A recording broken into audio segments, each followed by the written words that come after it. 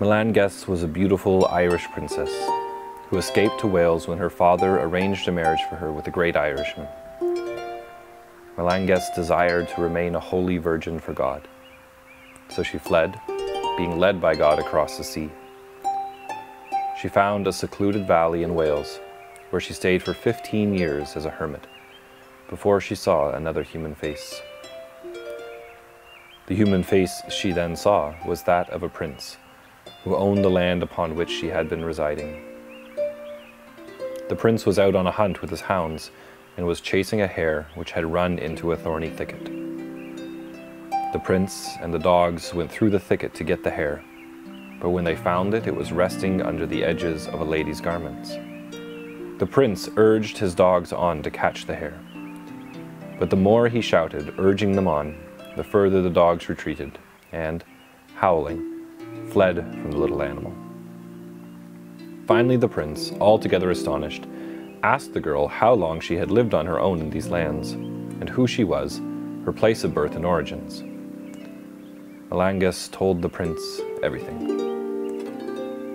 On hearing Melangell's story, the prince, a Christian himself, was cut to the heart and offered the lands upon which Melangell had spent the past 15 years for the service of God that they may be a perpetual asylum, refuge, and defense. Let neither king nor prince seek to be so rash or bold toward God that they presume to drag away any man or woman who has escaped here. Melangell continued in the same place as a hermit for 37 years, giving shelter and refuge not only to men and women to whom she also taught the ways of a hermit of God, but also to all manner of animals no matter what type or how wild. When entering the place or the presence of Melangell herself, they became calm and non-violent, as if they had been tame or domesticated animals. Nor by the aid of divine mercy were miracles and various other signs lacking for those who called upon her help, and the grace and favor with an inner motion of the heart.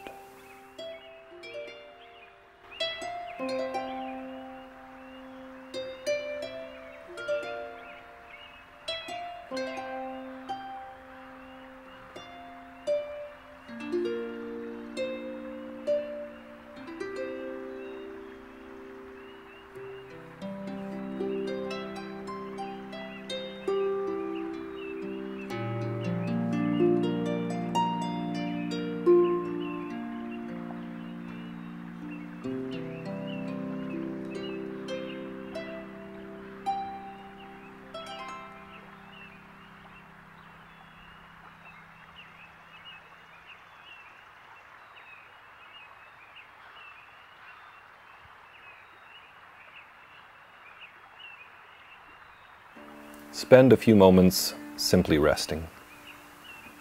Breathe gently and slowly.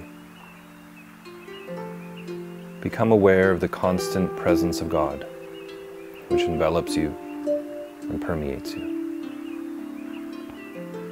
Melangell was a woman of such deep peace and the indwelling presence of God that everyone and everything that came to her rested in that peace. Through this embodiment of divine peace, Melangell expressed deep hospitality. How do you embody the peace of God? How do others perceive this peace? Does it dwell within you? What might you do to enhance both your awareness of divine peace and others' awareness of peace dwelling within you? How might you express this peace through hospitality? Spend time with God now, dwelling upon these questions.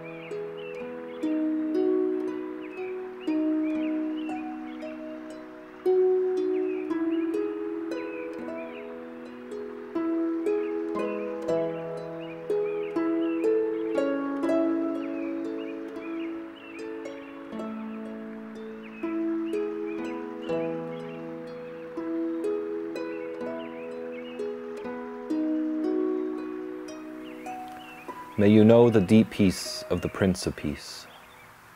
May that peace flow through you into the lives of others. May you express that peace through hospitality without prejudice to all.